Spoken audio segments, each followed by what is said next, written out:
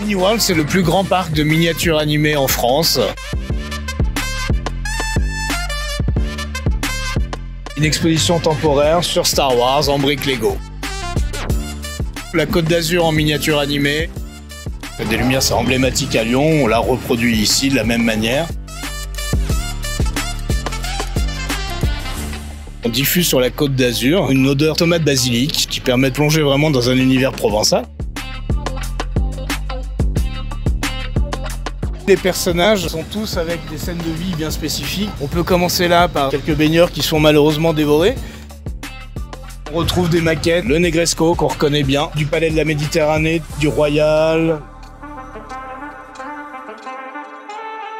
Si j'appuie sur accident, on a les secouristes qui vont faire un massage cardiaque après un accident de voiture. Les véhicules que vous voyez sur la route circulent de façon totalement autonome, guidés par GPS, ce qui évite toutes les collisions.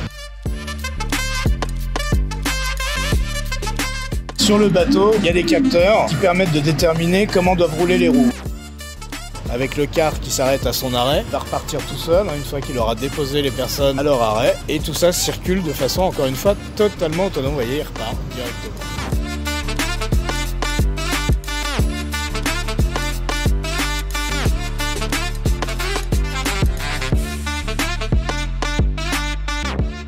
Donc là, on est sur Marseille maintenant.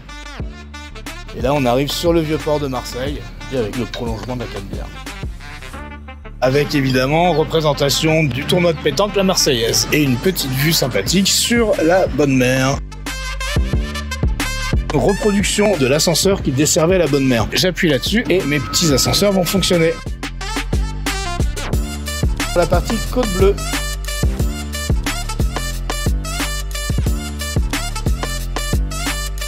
Là, on est sur la partie poste de contrôle. On a estimé que c'était bien de l'intégrer dans l'exposition. Ça fait partie du spectacle. Ici, sur l'exploitation, pour gérer le site, il y a trois personnes.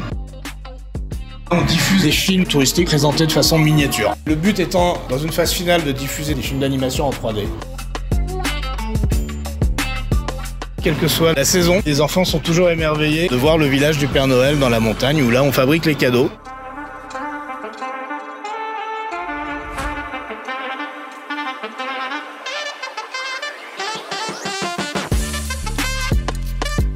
Ils repartent deux heures après en se disant ben merci, c'était vraiment génial. Et ils ont le sourire. Pour nous, ça c'est une victoire.